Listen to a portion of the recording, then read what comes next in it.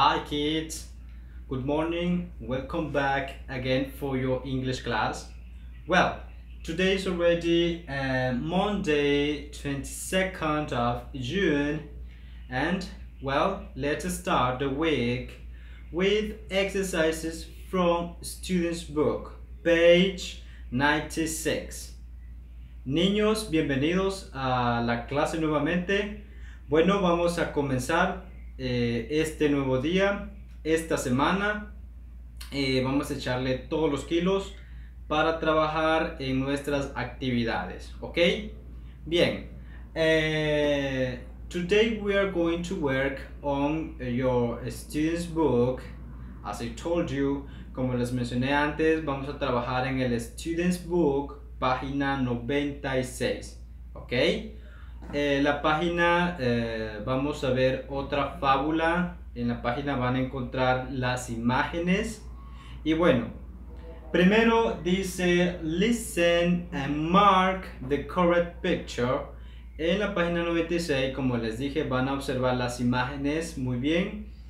Y van a escuchar eh, la pequeña fábula. En la pequeña fábula ah, relata la historia de The ant and the dove, ¿ok?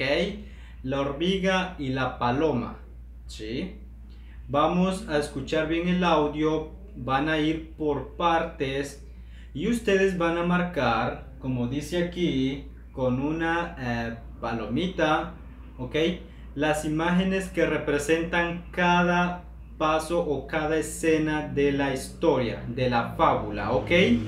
Bien, please eh, pay attention to the listening, pongan mucha atención al audio y marcan con una eh, palomita, ¿ok? Vamos a comenzar. 46. The ant and the dove. ¿Ok? The ant and the dove, ¿ok? La hormiga y la paloma. Ahorita comienza la historia. 1. One day, an ant went to the river. He wa- wanted to drink some water, but he fell into the water. Ok, en la primera parte dice, one day an ant went to the river but fell into the water. Ok, una hormiga fue al río y cayó en al agua. 2. A dove saw the ant. She took a small branch and dropped it close to the ant. The ant climbed onto the branch. Ok, en esta parte está diciendo que eh, la paloma vio a la hormiga que se cayó, entonces la paloma la, la ayudó con una rama para que se sostuviera y brincara eh, pues a salvo, ¿ok? 3.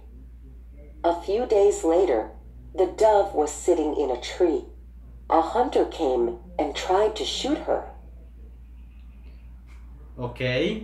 A few days later, días después, la paloma estaba eh, sentada, tranquila, en una rama. Un cazador la vio e intentó dispararle. 4. The ant saw the hunter and bit him on the foot. The hunter missed the dove, and the dove flew away. Okay. Uh, the ant saw the hunter and it, well, the ant bit the hunter in his foot, ok. La hormiga vio que el cazador iba a dispararle a la paloma, entonces lo mordió en su pie y a causa de esto le perdió la vista a la paloma. Entonces la paloma salió huyendo y se perdió del cazador. Bueno, espero que hayan escuchado muy bien y eh, marquen las palomitas las escenas correspondientes de la historia.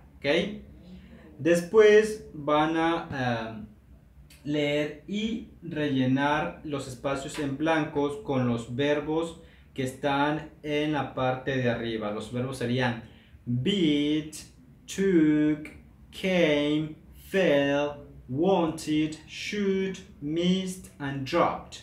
Los verbos están en pasado, obviamente las oraciones están en pasado. Ustedes van a leer muy bien para completar.